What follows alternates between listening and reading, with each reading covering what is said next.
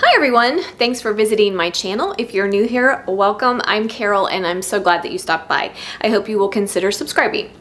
So today we are going to be using our sourdough starter to make some delicious zucchini bread. For those of you who have followed my channel for very long, you know that I love sourdough baking and we're always trying to find ways to use up our discard, right? So today I have a delicious recipe for you and we're gonna be using discard. Now this recipe is for sourdough zucchini bread. It is by King Arthur Baking. It is on their website. I will leave a link for you in the description box below. So when I came across this recipe, I thought it was perfect for this time of year. Our gardens are exploding with zucchini, right? Everyone loves zucchini bread and we're always trying to find different ways to change it up a little bit. So today we're gonna change it up with our sourdough discard. So it's a two for one. It's a great way to use up your discard and a new way to make zucchini bread. Now this recipe uses some ingredients that I wouldn't normally include in zucchini bread outside of the sourdough discard. Um, they're using, for sweetening, they're using sugar and honey. Um, they're using some vegetable oil, that's common, eggs, that's common, nutmeg is common. The recipe also includes some lemon zest, which is a little bit different for traditional zucchini bread uh, vanilla, that's typical. And then for our flour, they are recommending one cup of whole wheat white flour and three quarters of a cup of traditional all-purpose flour. I'm not gonna use the white whole wheat flour, I'm just gonna use all all-purpose flour. Um, but that is an option for you and in the description box I will list the recipe for you both ways, what I'm using and what their recommendations are. Uh, for leavening we're going to be using baking soda, baking powder, and some salt. We need two cups of grated zucchini.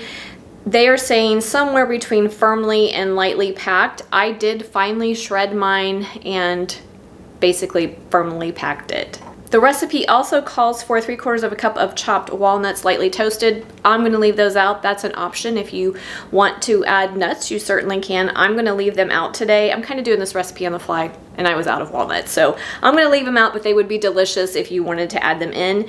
And then the last ingredient is 3 quarters of a cup of raisins, currants, or dried cranberries, which I thought is a really nice addition and something a little bit different in zucchini bread. So I'm going to be adding 3 quarters of a cup of raisins, but you could also do currants or cranberries um, as they suggest here. And again, I will list the uh, recipe as written and the changes that I am making. So we are going to start by whisking together all of our wet ingredients and then we're going to whisk together our dry ingredients, put them together and then bake them in a 9 by 5 inch baking pan. Okay, so for the starter, I just took mine out of the refrigerator and let it sit on the counter until it got nice and bubbly. Hopefully you can see all the bubbles there. Then what you wanna do is you want to stir it down and then we're going to measure out three quarters of a cup. Okay, we have our three quarters of a cup of our discard what's left, I'm going to go ahead and feed and let it get nice and happy and then I'll stick it back in the fridge until I'm ready to bake with my starter again. So we need three quarters of a cup of starter and again you can use fed or discard. I'm using my discard. Then we're going to add two eggs. We're going to add a quarter of a cup of honey six tablespoons of a neutral flavored oil. I just used canola. We also need a half a cup of sugar, a teaspoon and a half of our lemon zest. Then we also need a teaspoon and a half of vanilla extract. I make my own. If you aren't making your own, you should give it a try. It's delicious and really easy to do. So I'm gonna whisk all that together.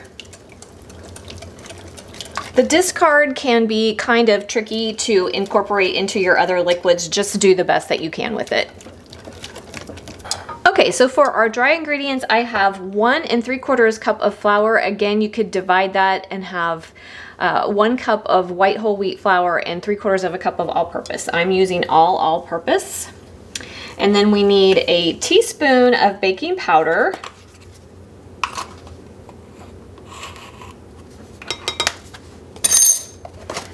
a half of a teaspoon of baking soda, a quarter of a teaspoon of nutmeg,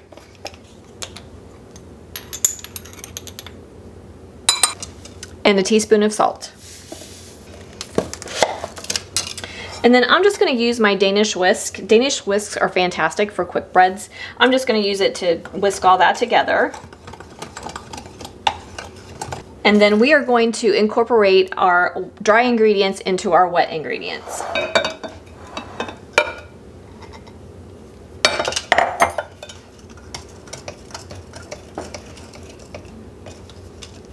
Now with quick breads, as with pancakes and that kind of thing, you do not ever want to over mix. So just mix it and or stir it until it's incorporated. And then we are going to add in our two cups of zucchini and three quarters of a cup of raisins. If you are using nuts, you would add them here as well. And it's three quarters of a cup that you would want. Gently stir until combined. Pretty already. And then I just sprayed my baking pan with a little bit of cooking spray. You do want to grease it a little bit. And then we're going to pour that into our loaf pan. You can also do this in a tea loaf pan as well. I'm just using a traditional bread pan. We're gonna pop this into a preheated 350 degree oven for about 45 minutes. Then we're going to tent it so that it doesn't get too brown on top and bake it for about another 20 minutes. Okay guys, we are all done. I baked my zucchini bread for 40 minutes like they said, and then they said you could tent it and then bake it for another 20. I didn't find the need to tint mine. Um, it was just nice and golden brown on top. It wasn't browning too much. So I did not tint mine and I went ahead and actually it was 45 minutes and then 20. So I baked mine for a total of 65 minutes and it was perfect. I've let it cool and then I've cut it. It's still a little bit warm, but I did let it cool some. Um, and I have tasted it. Uh, this is definitely different zucchini bread. Um, I did want to show you, give you a close-up. It is very tasty, but it is very different. The sourdough just adds a little bit of tang in the background. You really don't recognize it as sourdough. It is definitely a nice moist bread like most zucchini breads are. Uh, zucchini is known for um, lending some moisture so we would expect it to be um, nice and moist. It's got a really nice tender crumb to it. The raisins I enjoy a lot. The nuts would be fantastic here. You can definitely taste the lemon in the background. And as I was tasting it, I was thinking orange would be just as lovely. So if you have lemon or orange on hand, they would both be delicious. So whatever zest you want to use, either would work really well here in my opinion.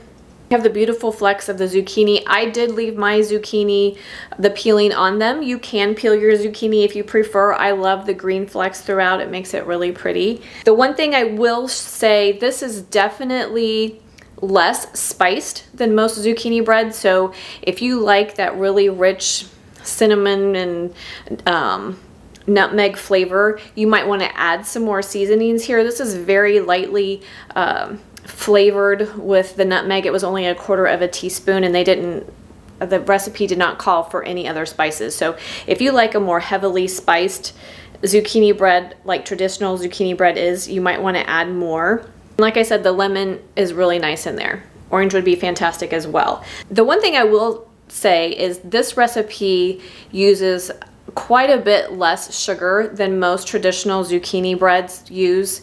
Uh, we only used a total of three quarters of a cup, I believe, of any type of sweetener. It was honey and uh, regular granulated sugar together. It was only three quarters of a cup. So it is not a really sweet zucchini bread. So if you are someone who finds traditional zucchini bread too sweet, you would appreciate this recipe.